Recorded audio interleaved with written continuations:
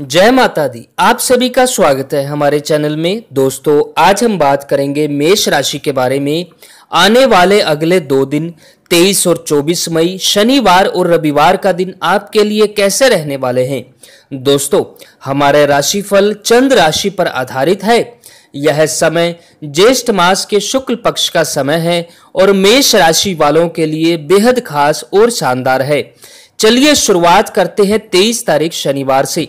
दोस्तों 23 तारीख शनिवार को प्रतिपदा तिथि रहेगी, रोहिणी नक्षत्र होगा, चंद्रमा वृषभ राशि से गोचर करेंगे, चंद्रमा का ही नक्षत्र इस दिन रहने वाला है।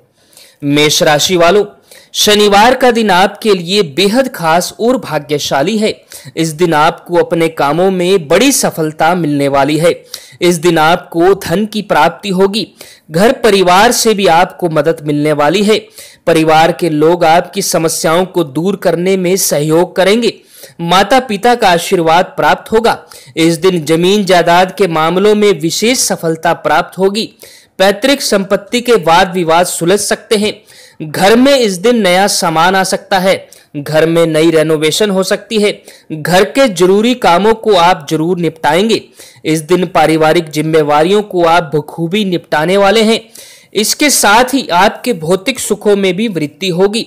तमाम तरह की मनपसंद चीज़ें आप इस दिन प्राप्त करेंगे। इस दिन पारिवारिक रिश्तों में मिठास आएगी। इस दिन आपकी सेहत बहुत अच्छी रहेगी। व्यापारिक स्थिति में तेज़ी बनी रहेगी, कारोबार में धन लाभ होगा। मेहनत करने से कई गुना अच्छे फल आपको प्राप्त होंगे। नौकरी में तरक्की के नए रास्ते निकलेंगे। लोग आपसे प्रभावित रहेंगे और यह समय आपको विशेष मान सम्मान भी प्राप्त होगा।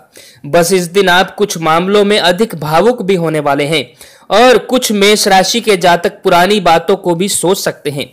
इस दिन आपको केवल आगे बढ़ने का प्रयास करना चाहिए, क्योंकि समय आपके लिए बेहद शुभ बना हुआ है।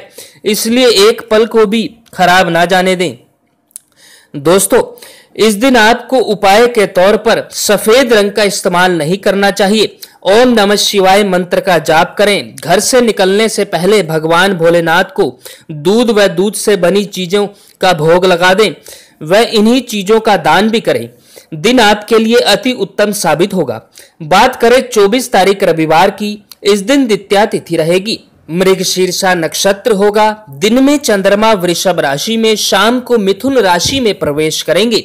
मंगल का नक्षत्र इस दिन रहने वाला है।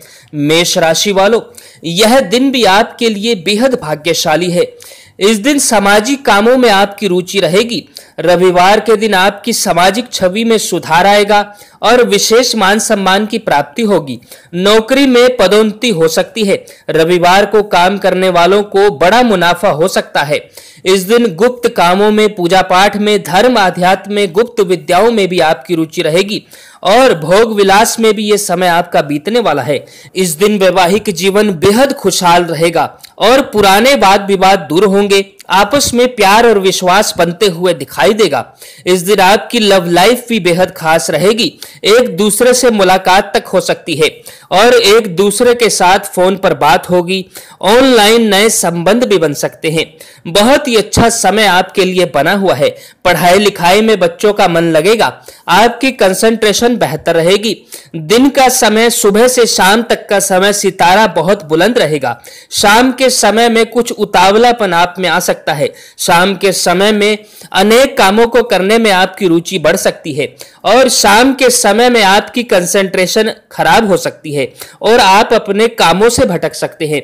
लेकिन शाम के समय में मौज मस्ती अधिक होने वाली है। दोस्तों इस दिन आपको उपाय के तौर पर लाल रंग का इस्तेमाल नहीं करना चाहिए। हनुमान जी की पूजा अर्चना करें, हनुमान चालीसा का पाठ करें और मीठी का भोग लगा दें।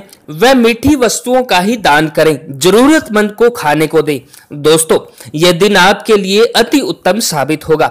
अगर आपको यह जानकारी अच्छी लगे, वीडियो को लाइक और शेयर ज़रूर करें और सच्चे मन से जय माता दी ज़रूर लिखें।